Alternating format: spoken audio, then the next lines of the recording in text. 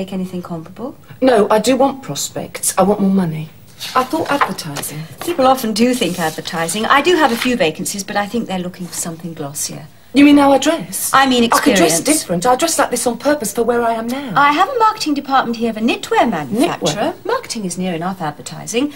Secretary to the marketing manager. He's 35, married. I've sent him a girl before. She was very happy. Left to have a baby, so you won't want to mention marriage there. He's very fair, I think, good at his job. You won't have to nurse him along. 110, so that's better than you're doing now. I don't know. I've a fairly small concern here, father and two sons. You'd have more say potentially, secretarial and reception duties. Only a hundred, but the job's going to grow with the concern, and then you'll be in at the top with new girls coming in underneath you. What is it they do? Lampshades. This would be Just my first choice for you. There's plenty of different kinds of lampshades, so we'll send you here, shall we? And the knitwear second choice. Are you free to go for an interview any day they call you? I'd like to travel. We don't have any foreign clients. You'd have to go elsewhere. Yes, I know. I don't really. I just mean, Does your fiancé want to travel? I'd like a job where I here in London with him and everything. But now and then, I expect it's silly. Are there jobs like that? There's personal assistant to a top executive in a multinational. If that's the idea, you need to be planning ahead. Is that where you want to be in ten years? I might not be alive in ten years. Yes, but you will be. You'll have children. I can't think about ten years. You haven't got the speeds anyway, so I'll send you to these two, shall I? You haven't been to any other agency, just so we don't get crossed wires. Now, Janine, I want you to get one of these jobs, all right? If I send you, that means I'm putting myself on the line for you. Your presentation's okay, you look fine. Just be confident and go in there convinced that this is the best job for you and you're the best person for the job. If you don't believe it, they won't believe it. Do you believe it? I think you could make me believe it if you put your mind to it. Yes. All right. If we agree to play roles, to pretend to be confident, what do we do to ourselves? Caryl Churchill's play Top Girls poses just this question, and the answers are not always positive. The play is, I believe, feminist, yet that doesn't mean it offers only positive images of women. Instead, it looks at real conflicts and tensions faced by women in the 1980s and still faced by women today. Churchill calls her play Top Girls. It's the name of the employment agency in which her central character, Marlene, has just been promoted to managing director. Marlene is a top girl, a modern superwoman. But at what cost? What does one woman's success mean for other women? For the sisters, lovers, friends, daughters of superwomen? Or for younger women, like the job applicant Janine in this opening scene? You mean how I dress? I mean experience. I could dress different. I dress like this on purpose for where I am now. We all dress on purpose for where we are at any given time. Or at least we know that if we do, we'll be perceived in certain ways. This scene shows how women must make deliberate choices about their own presentation, how our sexuality and looks, costume and personal desires can be manipulated to produce a desired effect for advancement in a patriarchal world. We chose Top Girls because it's just dated enough to be treated as history, but still recent enough to feel contemporary. We chose Caryl Churchill as the UK's leading socialist feminist playwright, whose work can be seen to be informed by modern ideas about women's rights and representation, though, as we'll see later in the interview with Churchill, she doesn't necessarily embrace these or any other labels for herself or her work. We chose to use the 1991 production of the play, directed by Max Stafford Clark, because it existed on video and therefore could be easily reproduced. The stage premiere of Top Girls was at the Royal Court Theatre in London in August 1982, also directed by Max Stafford Clark. This production transferred to New York and then returned to the Royal Court in February 1983. The play was revived at the same theatre in 1991 with a predominantly new cast. Prior to opening on stage, this 1991 production was recorded for television. Obviously, through the process of recording and editing a performance on video, choices of framing scenes and characters have already been made. so we as the audience have less power over our own viewing than we would do in live theatre. But however the play is shot, the essential theatricality shines through, and the themes of gender and role playing are clearly shown. The office scene we just saw was positioned first in the television production, but is actually seen too in the playtext. Before we watch the play in full, let's look at a few important sequences from what is the opening scene in Churchill's text to introduce the characters, themes, and mood of the play through this complicated scene. Here, Marlene throws a surreal dinner party to celebrate her promotion. A waitress enters. She does not speak and will assume the role of servant to the other guests, who are a collection of women from myth, history, and art. Is it significant that Marlene has no real friends to invite? The first guest to arrive is Isabella Bird, Victorian traveller. She's dressed sensibly for independent travel. I haven't time for a holiday. I'd like to go somewhere exotic like you, but I can't get away. I don't know how you could bear to leave Hawaii. I did I'd like to lie in the sun forever, except of course I can't bear sitting still. I sent for my sister Henny to come and join me. I said, Henny we'll live here forever and help the natives. You can buy two sirloins of beef for what a pound of chops costs in Edinburgh. And Henny wrote back the dear that yes, she would come to Hawaii if I wished.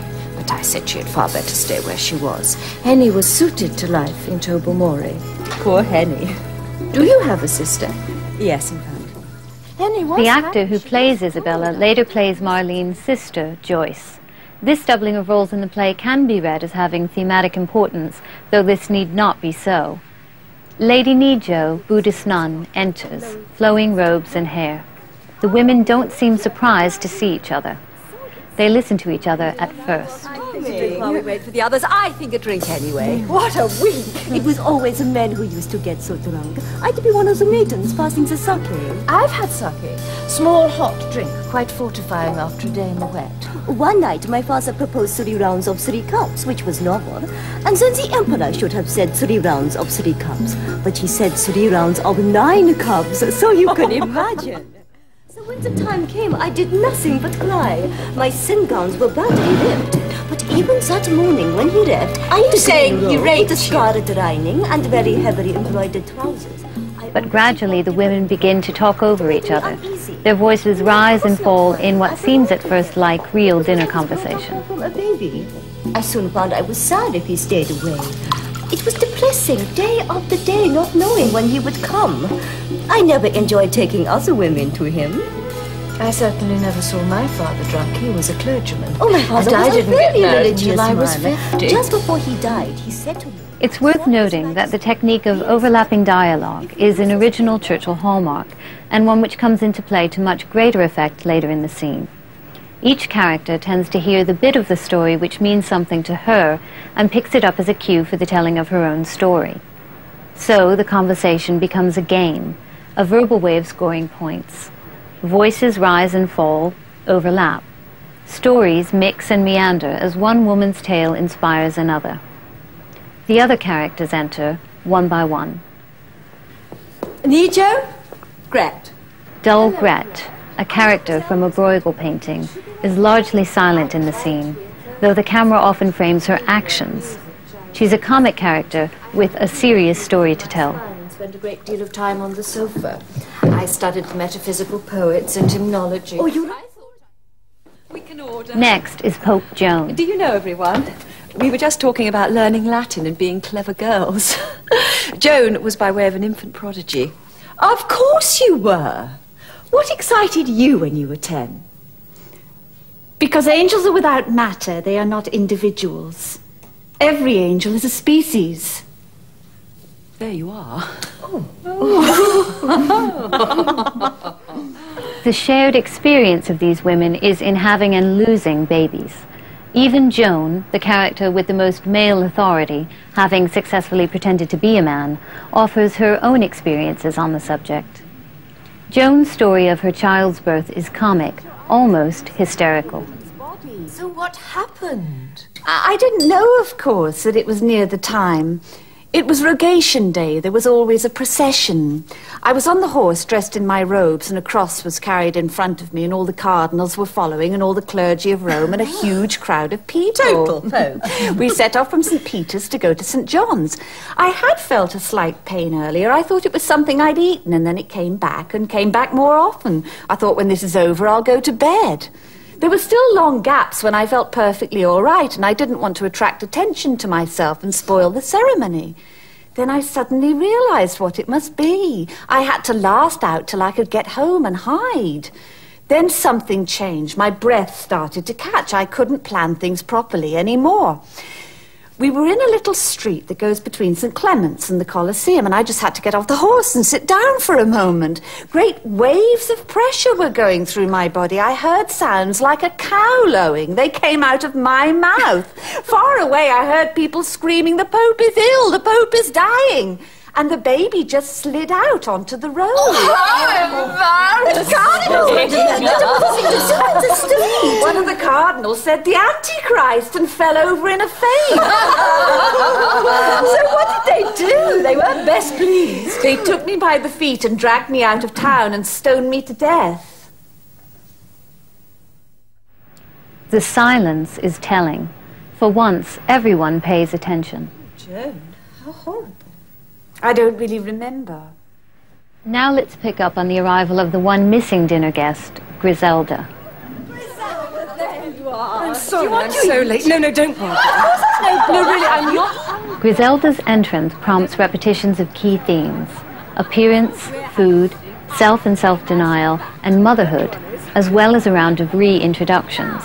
Each character's claim to fame is reviewed. Joan, who was Pope in the ninth century. and Isabella Bird, the Victorian traveller. Lady Nijo from Japan, Empress concubine and Buddhist nun, 13th century, near your own time. And Gret, who was painted by Bruegel. Griselda's in Boccaccio. Oh. And Petrarch. Oh. And Chaucer!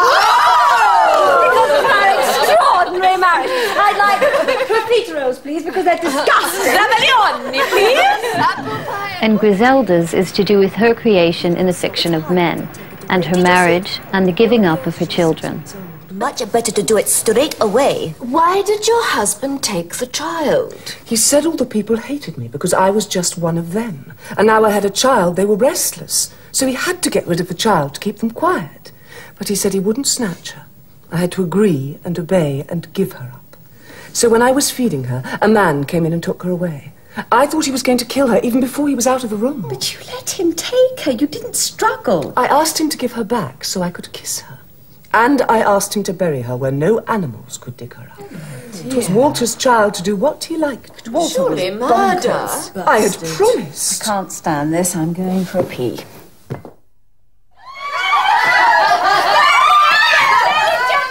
As the scene draws to a close, the women are becoming drunk. The voices rise, they show more emotion, order more drinks. Show real support when Lady Nijo gets upset, advocating violence. Body language becomes free, and when the atmosphere is completely raucous, dull Gret finally speaks. where I come from. There's a river and a bridge and houses. This place is on fire like when the soldiers come.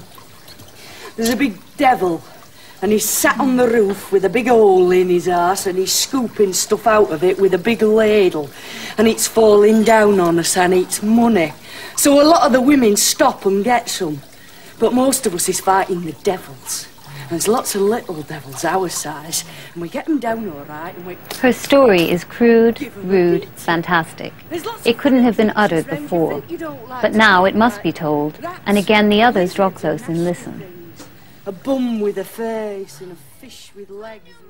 The scene ends with the women descending into drunken debauchery. At this point, the scene fades into the real but imagined world of two little girls. The waitress reappears as young Kit and speaks. Dull Gret reappears as Angie, another relatively inarticulate character. The rest of the play speaks for itself. Shall I tell you something? We'll go swimming out. Now let's watch the full play in performance. Look at each character's costume and use of gestures. Listen to their stories and notice who speaks, who's silent, who listens and who doesn't. Who uses words to impress and who tries to communicate. Also watch for body language. Who catches our attention without words and who needs to speak in order to be heard. Is the play exclusively to do with women? Why is motherhood such an important theme? What messages do you hear? Are they 1980s messages, or is the play still relevant today?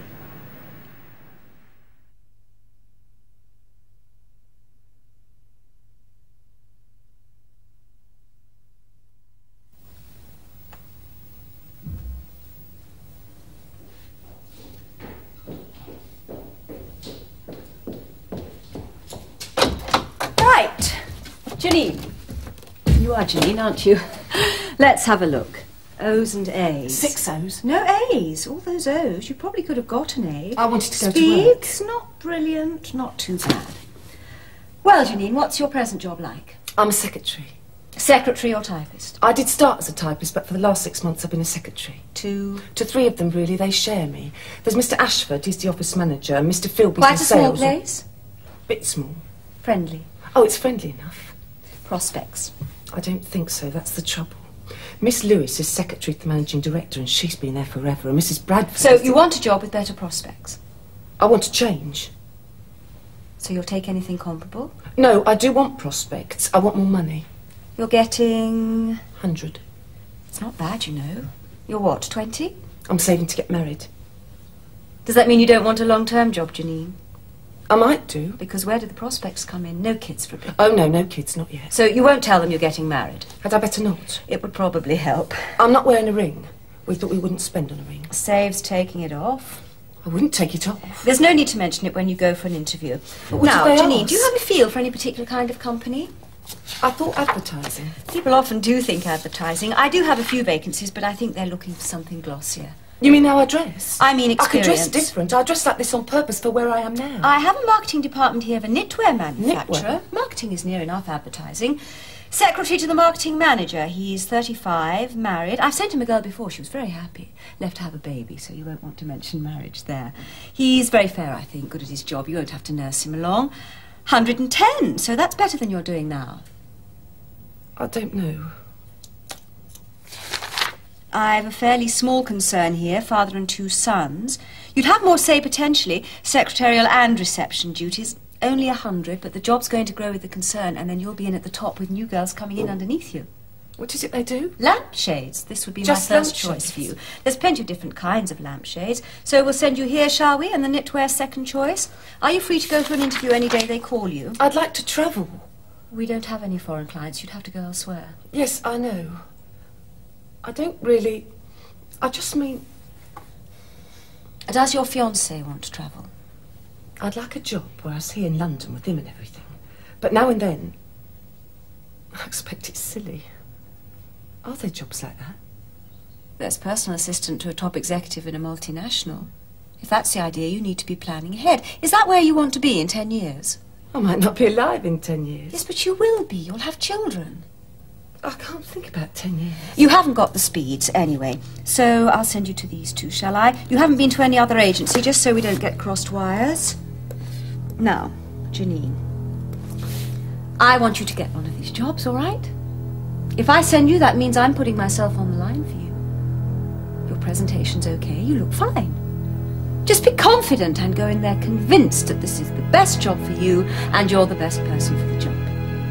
If you don't believe it, they won't believe it. Do you believe it? I think you could make me believe it if you put your mind to it. Yes. All right.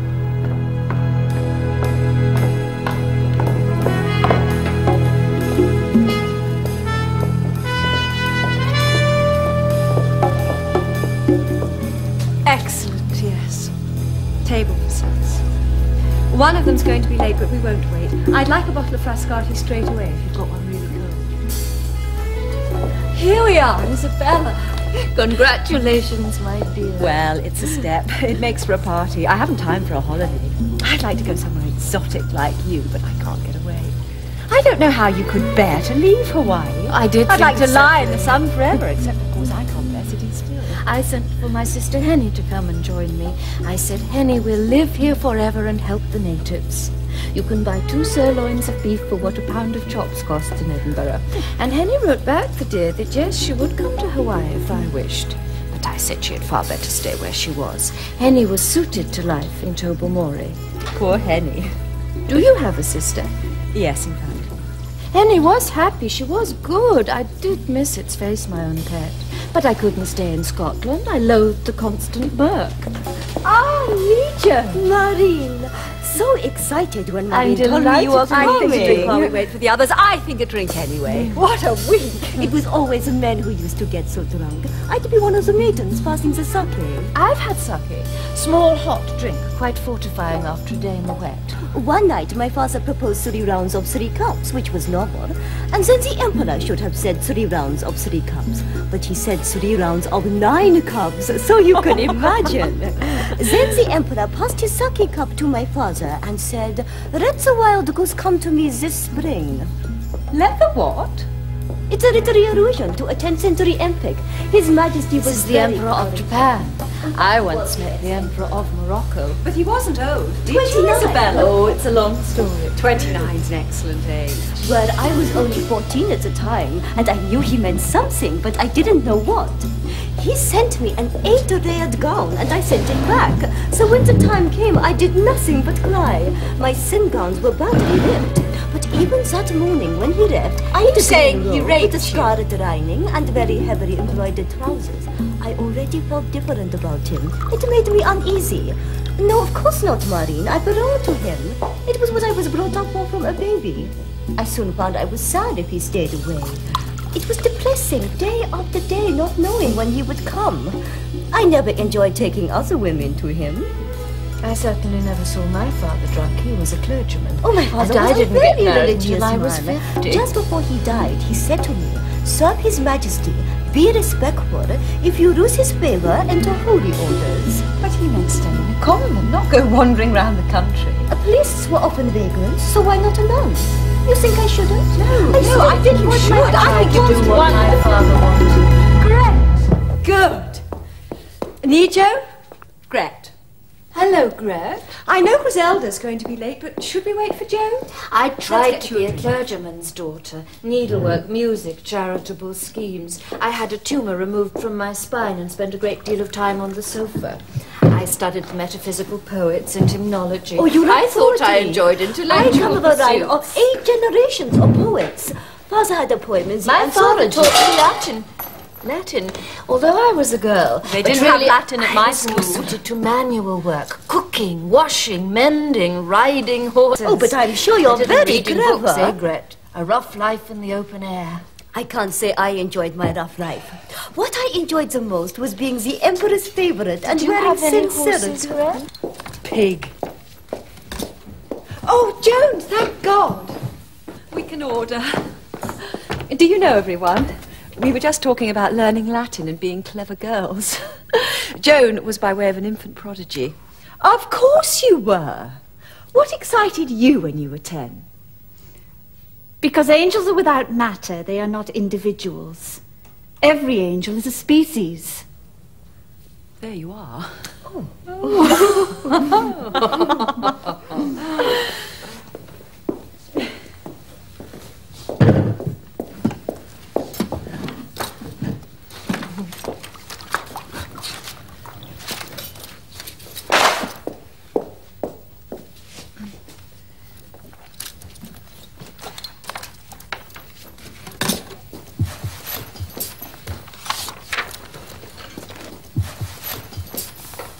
Yes, oh. I forgot all my Latin.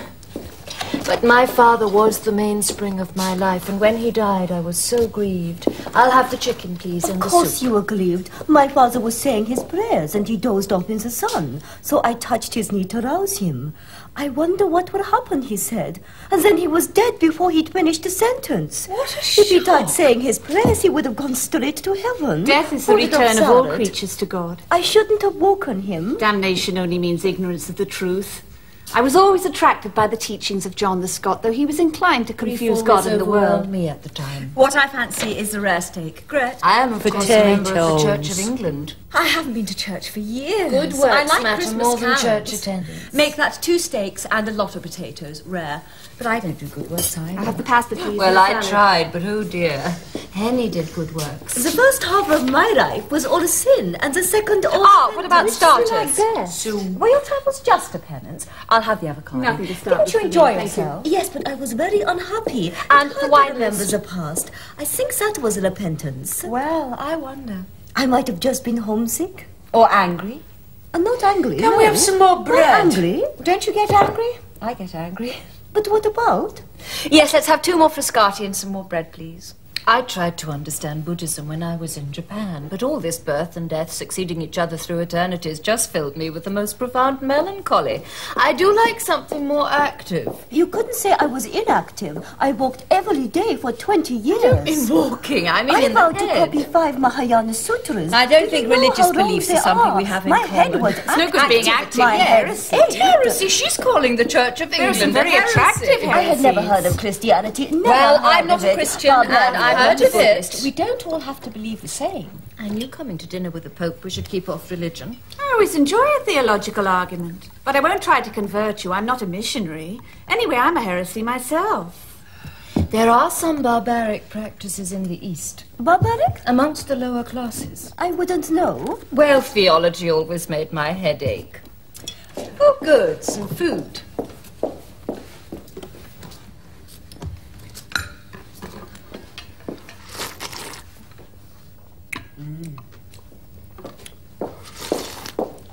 How else could I have left the court if I wasn't a nun? When my father died, I had only His Majesty. So when I fell out of favor, I had nothing. Religion is a kind of nothing. That's what so I mean about dedicated what Buddhism. was It left doesn't of me embrace. to nothing. Come on, Nijo, have some wine. Haven't you ever felt like that? Nothing will ever happen again. I am dead already. You all felt like Thought that. your life was over, but it wasn't. You wish it was over. Hmm. Yes, when I first came to London, I sometimes. And when I got back from America, I did, but only for a few hours, not 20 years. When I was 40, I thought my life was over. Oh, I, I was didn't say pitiful. I felt it for 20 years. I was not sent on a cruise minute. for my health and I felt even worse. Pains in my bones, pins and needles in my hands, swelling behind the ears, and oh, stupidity. I shook all over, indefinable terror. And Australia seemed to me a hideous country. The acacia stank like drains. You were I had a photograph taken for Henny, but I said I wouldn't send it. My hair had fallen out, my clothes were crooked, I looked completely insane and suicidal. So did I, exactly, dressed as a nun. I was longed wearing to go walking home, shoes for the but first time. what? I longed to Houses go are so back ten years. dismal. I thought travelling cheered you both up. It did, of course. I'm not a cheerful person, On Marlene. the I just trip from rough it Australia to the Sandwich Isles, I fell in love with the sea. There were rats in the cabin and ants in the food, but suddenly it was like a new world. I woke up happy every morning, knowing there would be nothing to annoy me, no nervousness, no dressing. Don't you like getting dressed? Mm. I adored my clothes.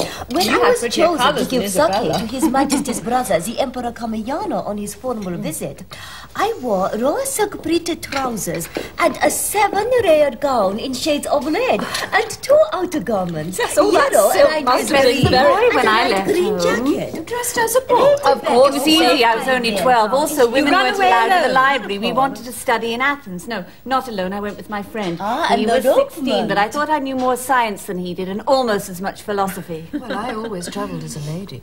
And I repudiated strongly any suggestion in the press that I was other than feminine. I don't wear trousers in the office. I could, but I don't. And you got away with it, Joan. I did then. Nobody noticed anything. They noticed I was a very clever boy. and when I shared a bed with my pretending friend, that so was long. ordinary. Two poor students in a lodging house. I think I forgot I was pretending.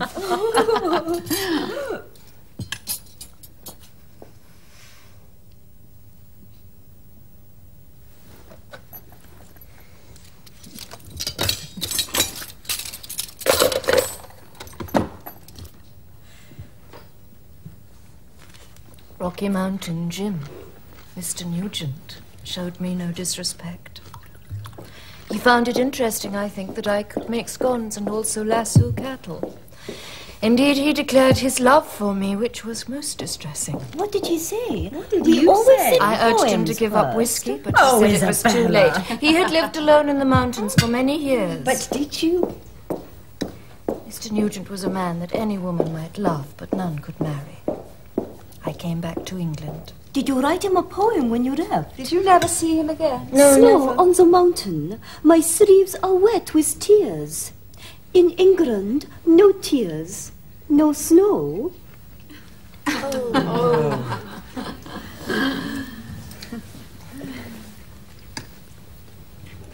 Well, I say never. One morning, very early in Switzerland, it was a year later, I had a vision of him as I last saw him in his trapper's clothes with his hair round his face. And that was the day I learnt later he oh. died with a bullet in his brain. Oh, Isabella. He just bowed to me and vanished. When your robber dies. One of my robbers died. as My priest friend Ariake. died. Have we all got dead I wasn't lovers? a nun. Not I me, was sorry. still at court. But he was a priest. And when he came to me, he dedicated his whole life to her. I quarrelled He with that him when over he the died, teachings of he John the Scot, who held that our the ignorance of God is the same as his ignorance of himself. died. He only knows what he, He creates because he creates everything he knows, but he himself is above being. Do you follow? No, but go on. I couldn't bear to think St. Augustine shape would he be maintained that the reborn. Neoplatonic ideas Buddhism are is indivisible really from God. But I agree with. John that the created world, its essence, is derived from ideas which derive from God. As Dennis the Areopagite said, the pseudo-Dennis. First we give God a name, then deny it. In then reconcile the contradiction return? by looking beyond those terms. Sorry, what? Dennis said what? Well, we disagreed about it. We quarrelled. And the next day he was ill. Oh, I was so annoyed with him all the time I was nursing him. I kept going over the arguments in my mind. Matter is not a means of knowing the essence. The source of the species is the idea. But then I realised he'd never understand my arguments again. That night he died. John the Scot held that the individual disintegrates and I there is no not like to personal think I was in love immortality. with Jim Nugent. It was yearning to save him that I felt. So what did you do? First, I decided to stay a man. I was used to it. And I wanted to devote my life to learning. Do you know why I went to Rome? Italian men didn't have beards. The loves of my life were Henny, my own pet, and my dear husband, the doctor, who nursed Henny in her last illness. I knew it would be terrible when Henny died, but I didn't know how terrible. I felt half of myself had gone. How could I go on my travels without that sweet soul waiting at home for my letters? It was Dr. Bishop's devotion to her in her last illness that made me decide to marry him. He and Henny had the same sweet character. I had not. I thought His Majesty had sweet character because when he found out about Ariake, he was so kind. But really, it was because he no longer cared for me. He even sent me out to a man who had been pursuing me. I did wish he lay awake on the other of a side of the screens and listened. I tried very hard to cope with the ordinary drudgery of life. I was ill again with carbuncles on the spine and nervous prostration. I ordered a tricycle. That was my idea of adventure then. and John himself fell ill with erysipelas and anemia. I began to love him with my whole heart, but it was too late. He was a skeleton with transparent white hands. I wheeled him on various seafronts in a bath chair, and he faded and left me. There was nothing in my life. The doctor said I had gout, and there my was heart nothing was in much my affected. life, nothing without the Emperor's favor. The Empress had always been my enemy, Marlene. She said I had no right to wear Surya-red gowns. There was nothing But in I my life except my studies. my I was obsessed with pursuit of the I truth. I taught at the Greek school in Rome, which St. Augustine had made famous. I was poor, I worked hard, I spoke apparently brilliantly, I was still very young, I was a stranger. Suddenly, I was quite famous. I was everyone's favourite. Huge crowds came to hear me. The day after they made me cardinal, I fell ill and lay two weeks without speaking, full of terror and regret. But then I got up, determined to go on. I was seized again with a desperate longing for the absolute. I sat in Tobermory amongst Henny's flowers and sewed a complete outfit in Jaeger flannel. Ah, I was Eva, but I 56 years die. old. I wrecked on foot. Nobody saw me go. For the next 20 years, I walked through Japan. Pope Leo died and I was chosen. All right then, I would be Pope. I would know God. I would know everything. I determined to leave my grief behind and set off for Tibet. Magnificent, all of you. We need some more wine, please. Two bottles, I think. Griselda isn't even here yet, and I want to drink a toast to you all. To yourself, surely, Marlene. Yes, Marlene. Exactly is it, Marlene? Marlene? Well, it's not Pope, but it is managing director. And you find Oh, oh, the women. Very yes, well, I'm employment agency. I'm sure it's the beginning of something extraordinary. Well, it's worth a party. Marlene. Marlene. To all of us, we've all come a long way. To our courage and the way we've changed our lives and our extraordinary achievements. Such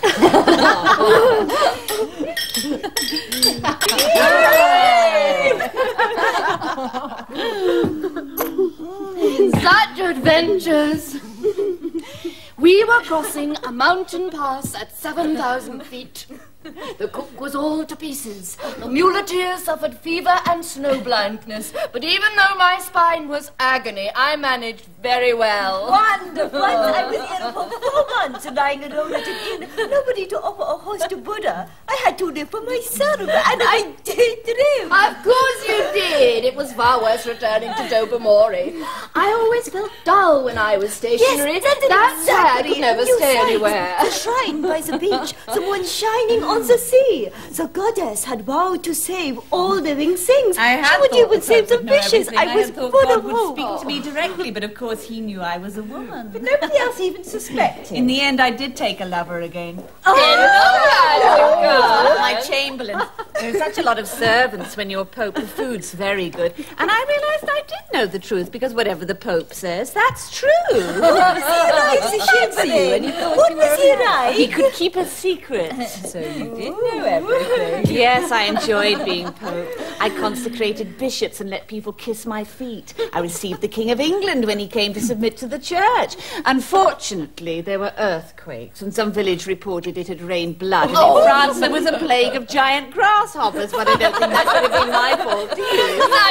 Grasshoppers fell on I the was nearly Channel and were washed in up on China shore. by a Bodies howling were mob. there and They got the knows barbarians, died. babies, and put them under railway sleepers to make the track steady, and ground up their eyes to make the lenses of cameras. So they were shouting, "Child eater, child eater!" Some people tried to sell girl babies to Europeans for cameras or stew.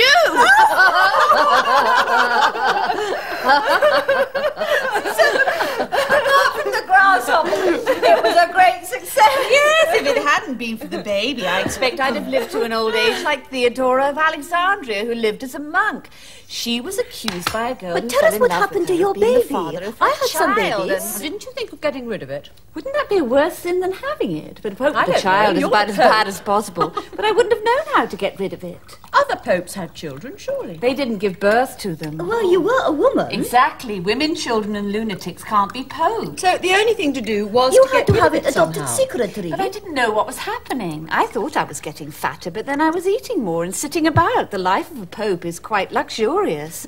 I don't think I'd spoken to a woman since I was 12. The chamberlain was the one who realised. And by then it was too late. Oh, I didn't want to pay attention. It was easier to do nothing. But you had to plan for having it. You had to say you were ill and go away. That's what I should have done, I suppose. Did you want them to find out? I, too, was often in embarrassing situations. There's no need for a scandal. My first child was His Majesty's, which unfortunately died, but my second was Akebono's. I was 17. He was in love with me when I was 13. He was very upset when I had to go to the Emperor. It was very romantic, a lot of poems. Now, His Majesty hadn't been near me for two months, so he thought I was four months pregnant when I was really six. So when I reached the ninth month, I knew announced I was seriously was. ill, and Akebono announced he had gone on a religious retreat. He held me round the waist and ripped me up as the baby was born. He cut the cord with a short sword, wrapped the baby in white, and took it away. It was only a girl, but I was sorry to lose it. Then I told the emperor that the baby had miscarried because of my illness, and there you are. The danger was past. But Nijo, I wasn't used to having a woman's body. So what happened? I, I didn't know, of course, that it was near the time. It was Rogation Day. There was always a procession.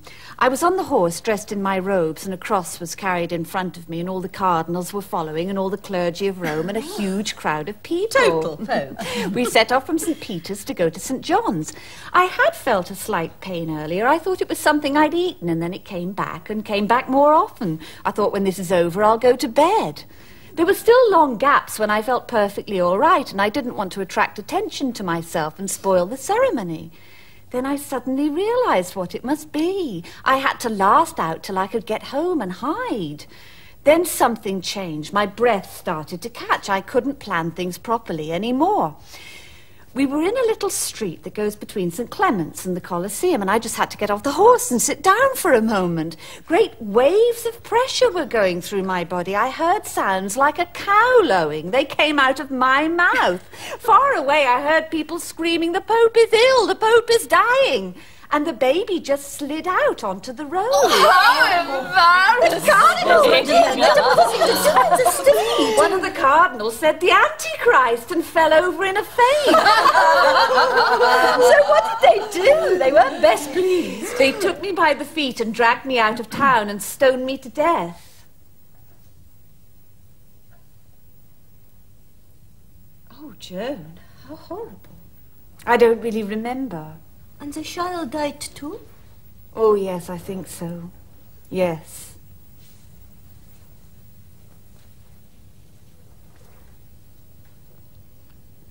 I never had any children. I was very fond of horses. I saw my daughter once. She was three years old. She wore a plum red small three Birdie was my favorite. Akebono's wife A little Indian bay mare I rode in the. Rocky Mountains. Everyone thought I was just a visitor. She was being brought up carefully so she could be sent to the palace like I was. Legs of iron, and always cheerful, and such a pretty face. If a stranger led her, she reared up like a bronco. I never saw my third child after he was born, the son of Ariake, the priest. Ariake held him on his lap the day he was born and talked to him as if he could understand and cried. My fourth child was Ariake's too. Ariake died before he was born. I didn't want to see anyone. I stayed alone in the hills. It was a boy again, my third son. But oddly enough, I felt nothing for him. How many children did you have, Gret? Ten. Whenever I came back to England, I felt I had so much to atone for. Henny and John were so good. I did no good in my life. I spent years in self gratification. So I hurled myself into committees. I lectured the Young Women's Christian Association on thrift. I nursed the people of Tobermory in the epidemic of influenza. I talked and talked, explaining how the East was corrupt and vicious. My travels must do good to someone beside myself.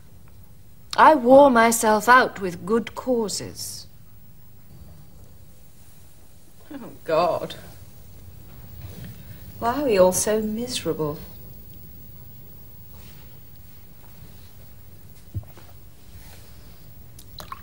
Procession never went down that street again. They rerouted it specially. Yes, they had to go all round to avoid it, and they introduced a Pierce chair. A pierced chair. yes, A chair made out of solid marble with a hole in the seat. and it was in the chapel of the Saviour, and after he was elected, the Pope had to sit in it. Oh, someone lift up his skirt! Two of the clergy made sure he was a man. Why couldn't he just put up his nose? They were occupied. You could have made all your chamberlains. For the head of Griselda, there you are. I'm sorry I'm so late. No, no, don't bother. No, really, I'm not hungry. Well, have some pudding. I never eat pudding. Griselda, I hope you're not anorexic. We're having pudding. I am getting nice and fat. Oh, if everyone is, I don't mind. Now, who do you know? Oh, oh, oh, this is Joan, who was Pope in the ninth century. and Isabella Bird, the Victorian traveller. Lady Nijo from Japan, Empress concubine and Buddhist nun, 13th century, near your own time. And Gret, who was painted by Bruegel. Griselda's in Boccaccio. Oh. And Petrarch. Oh. And Chaucer. Because of their extraordinary marriage. I'd like profiteroles, please, because they're disgusting. Zabaglione, please. Apple pie and What's Zabaglione, it's Italian. It's what Joan's having. It's delicious. Oh, no, apples. Just cheese and biscuits, thank you. Yes, Griselda's life is like a fairy story, except it starts with marrying the prince. Oh. Oh. He's only a marquis, Molly. Well, everyone for miles around is his liege, and he's absolute lord of life and death, and you were the poor but beautiful peasant girl, and he wished you off. Near enough, Prince. I was brought up in court circles, and it was still a shock. Had you ever seen him before? I'd seen him riding by, we all had, and he'd seen me in the fields with the sheep. He just rode up while you were minding the sheep and asked you to marry him. No, no, it was on the wedding day. I was waiting outside the door to see the procession. Everyone wanted him to get married, so there'd be an heir to look after us when he died. And at last he announced a day for the wedding. But nobody knew who the bride was. We thought she must be a foreign princess. We were longing to see her. Then the carriage stopped outside our cottage, but we couldn't see the bride anywhere. And he came in and spoke to my father. And your father told you to serve the prince. My father could hardly speak. The Marquis said it wasn't an order. I could say no. But if I said yes, I must always obey him in everything. That's when you should have suspected. But of course the wife must obey her husband. I sought to obey And of course Dolly, I must course, obey the Marquis. didn't seem to arise. Well, I bothered to Naturally, I mention it at all. He'd got a thing about it, that's why. I'd rather obey the Marquis than a boy from the village. Yes, that's a point. I never obeyed anyone. They all obeyed me. And what did you wear? He didn't make you get married in your own clothes. That would be perverse. Oh, he had ladies with him who undressed me, and they had a white silk dress and jewels for my hair. And at first he seemed perfectly normal. Marlene, you're always so critical of him. But come Of course he was on, normal. He was Griselda. very He took your baby. Walter found it hard to believe I loved him. He couldn't believe I would always obey him. He had to prove it. I don't think Walter likes women. I'm sure he loved me, Marlene, all the time. He just had a funny way of showing it showing was it. hard for him, too. How do you mean he took away your baby? Was it a boy? No, the first one was a girl. Even so, it's hard when they take it away. Did you see it at all? Oh, yes, she was six weeks old. Much better to do it straight away. Why did your husband take the child? He said all the people hated me because I was just one of them. And now I had a child, they were restless. So he had to get rid of the child to keep them quiet. But he said he wouldn't snatch her. I had to agree and obey and give her up. So when I was feeding her, a man came in and took her away. I thought he was going to kill her even before he was out of the room. But you let him take her. You didn't struggle. I asked him to give her back so I could kiss her. And I asked him to bury her where no animals could dig her up. Oh, it was Walter's child to do what he liked. Walter Surely was murder. bonkers. I had promised. I can't stand this. I'm going for a pee. No, I understand. Of course you had to. He was your wife. And were you in favor after that? Oh, yes, we were very happy together. We never spoke about what had happened. I can see you were doing what you thought was your duty. But didn't it make you ill?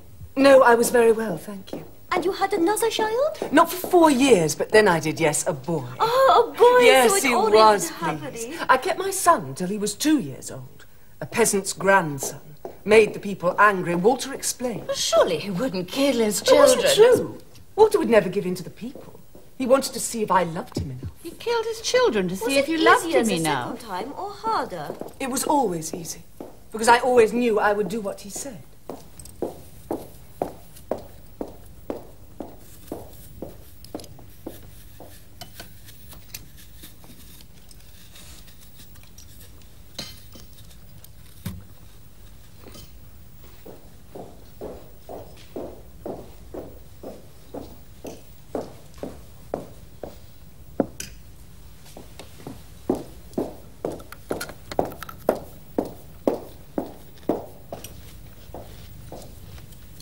Didn't have any more children. Oh, no, no more.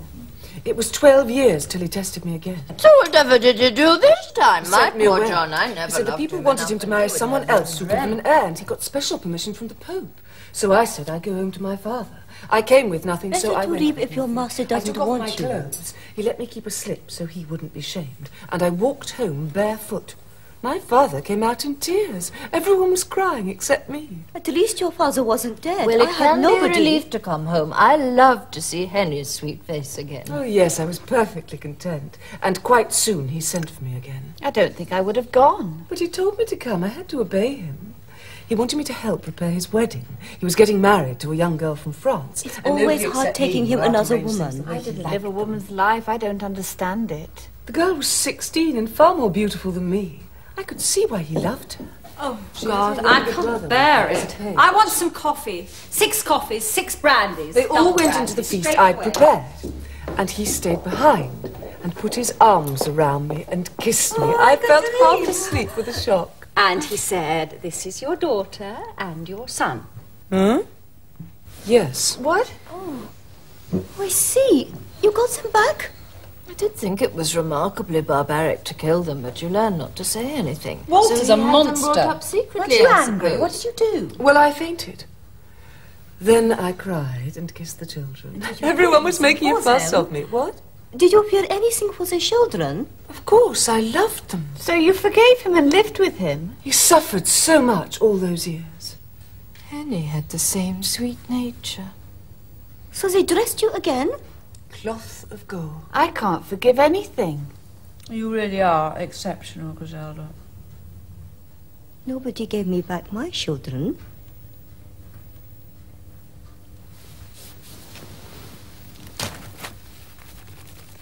I can never be like Henny. I was always so busy in England, a kind of busyness I detested. The very presence of people exhausted my emotional reserves. I could not be like Henny, however I tried. I tried and was as ill as could be. The doctors suggested a steel net to support my head. The weight of my own head was too much for my diseased spine. Don't It is cry. dangerous to put My oneself in and the Emperor depressing both in circumstances. So Why should I do it? Yes, But don't cry. They wouldn't let me into the palace when he was dying. I hid in the room with his coffin. Then I couldn't find where I'd left my shoes. I ran after the funeral procession in bare feet. I couldn't keep up. When I got there, it was over. A few wisps of smoke in the sky, that was all that was left of him. What I want to know is, if I'd still been at court, would I have been allowed to wear for the mourning? I'm sure you would. Why do you say that? You don't know anything about it. Would I have been allowed to wear for the mourning? How can people live in this dim, pale island and wear our hideous clothes? I cannot and will not live the life of a lady. I'll tell you something that made me angry. I was 18 at the full moon ceremony. They make a special rice gruel and stir it with their sticks and beat their women across the ruins so they'll have sons and not daughters. So the emperor beat us all very hard. What a sod! That's not it, Marlene. That's normal. What made us angry, he told his attendants they could beat us too. Well, they had a wonderful time. I'd like so another Lady brandy. Genki and I made a plan. Don't and the ladies all hid in his rooms. And Lady Mashimizu stood guard at the door with a stick.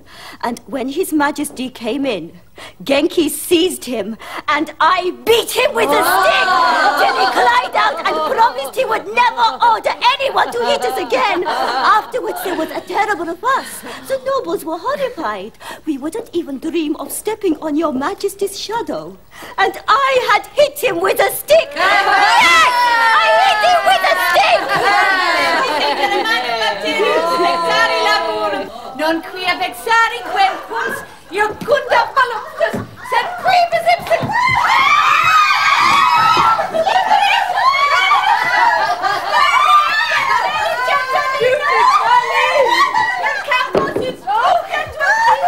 Did you think? Did you wonder? It would have been if hadn't had to. Why should I? Why should I? Can't you, El? You're a big man. El's black and red. Shut up! Like you know where I come from. There's a river and a bridge and houses. This place is on fire like when the soldiers come. There's a big devil and he's sat on the roof with a big hole in his arse and he's scooping stuff out of it with a big ladle and it's falling down on us and it's money. So a lot of the women stop and get some. But most of us is fighting the devils. There's lots of little devils our size and we get them down all right and we give them a beating.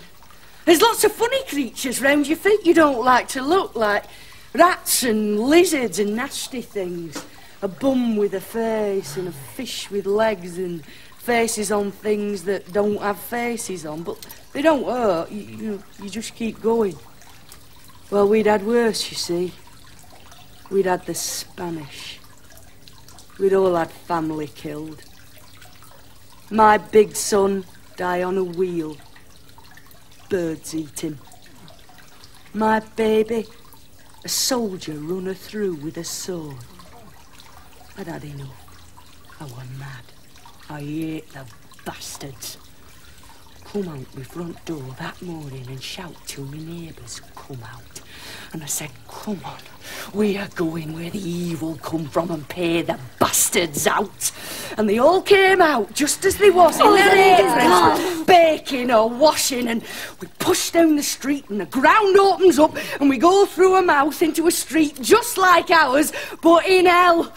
I've got a sword in my hand from somewhere and, and, and a basket, and I fill it with gold cups they drink out of down there. Oh, you just keep running on and fighting. You don't stop for nothing. Oh, we give them devils such a beating! Yes!